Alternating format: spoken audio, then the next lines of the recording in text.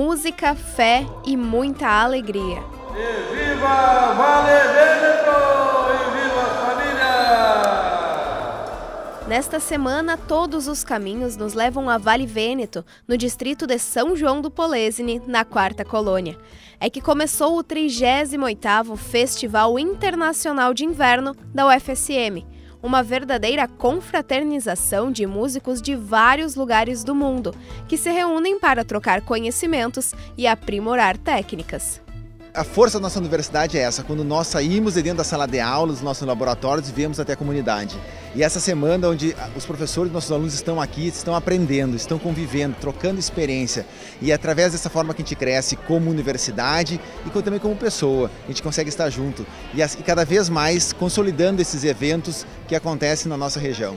Por aqui, a estrela é ela, a música, que abrilhanta os palcos e comove o público. Quem passa por aqui tem a oportunidade de assistir a apresentações assim.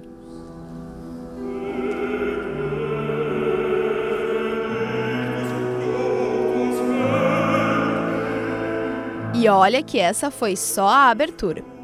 Esse ano a gente está trazendo é, estudantes de vários estados e países, inclusive. Né? A gente tem estudantes do, do, do, do Uruguai, de, do, Chile, né? dos Estados Unidos e, e, vários estados brasileiros. Então eles vão passar aqui uma semana tendo acesso a professores especializados de 15 oficinas, de 15 instrumentos, é, tendo aula de manhã, de tarde, tocando recitais durante é, a hora do almoço e assistindo os professores tocando todo dia de noite. Os concertos são gratuitos, abertos ao público, só vir aqui na igreja, ouvir a música com né, um repertório muito diversificado que nós vamos apresentar com diversos instrumentos durante a semana, é aberto ao público. É levar música, levar música de qualidade, música de concerto, aqui para as pessoas, para as pessoas usufruírem, usufruir dessa beleza aqui de Vale Vêneto, dessa natureza, que eles aproveitem também a gastronomia italiana, que é excelente aqui. A religiosidade também é marcante por aqui foi a missa, um dos rituais mais importantes do catolicismo, que deu início à cerimônia de abertura do festival. O festival segue até o próximo sábado, dia 30, e tem atrações diárias, concertos, recitais e até oficinas. Neste ano, a expectativa é que cerca de 7 mil pessoas participem das atividades durante a semana. E até lá, os turistas também podem conhecer um pouco da cultura local é que junto ao festival também acontece a 38ª Semana Cultural Italiana de Vale Vêneto, com almoços e jantares típicos, comida em abundância e, é claro, um bom e tradicional suco de uva fazem a alegria de quem visita o vale. O Matheus é professor e veio com a família para aproveitar o domingo no festival.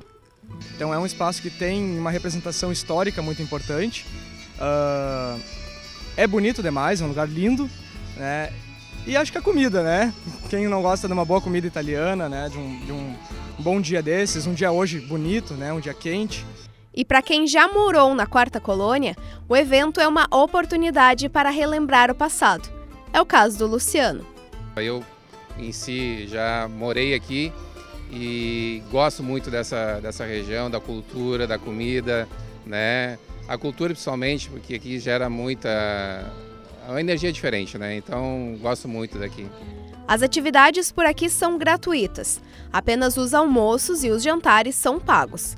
Ao longo de sete dias, o vale vai ficar assim, cheio de gente dos mais variados lugares. Quem vem não se arrepende e leva junto boas lembranças de um lugar que parece um pedacinho da Itália aqui no Brasil.